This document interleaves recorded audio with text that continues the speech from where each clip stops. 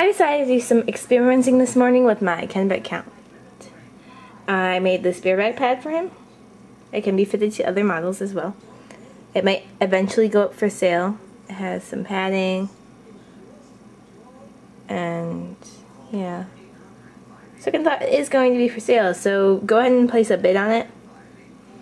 If it doesn't get past a certain point, then I won't sell it. So yeah. It looks really nice on him. See? So nice. I would I wouldn't say it's LSQ because it's probably not, but it's probably PSQ, which means picture show quality.